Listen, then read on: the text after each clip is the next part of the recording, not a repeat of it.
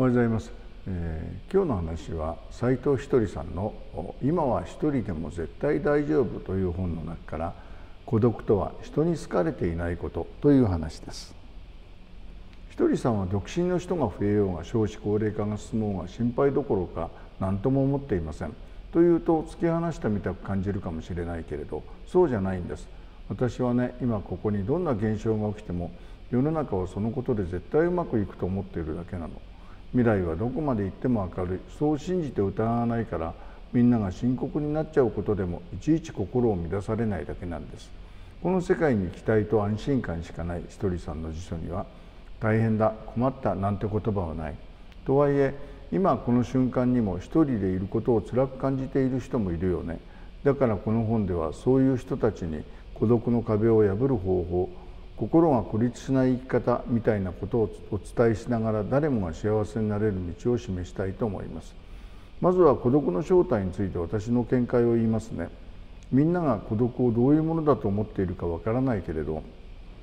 ひとりさん的には孤独とは人に好かれていないことを意味するんです。周りに人がいようがいまいが心が孤立していて何をしても満たされない。いつも枯渇していて寂しいのが孤独なの。で何がそういう状況を生み出すのかっていうともう絶対人に煙たがられているのが原因なんです。じゃあどうすればいい人に囲まれるのかっていうとね笑顔明るい言葉これしかない。つまり愛を出すことです。孤独な人に足りないのは笑顔と明るい言葉なの。それをやり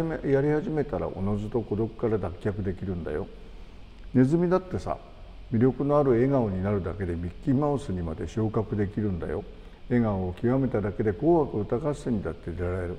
私はただのネズミでいいと思ってるだけじゃネズミとしての可愛さはあるかもわかんないけれど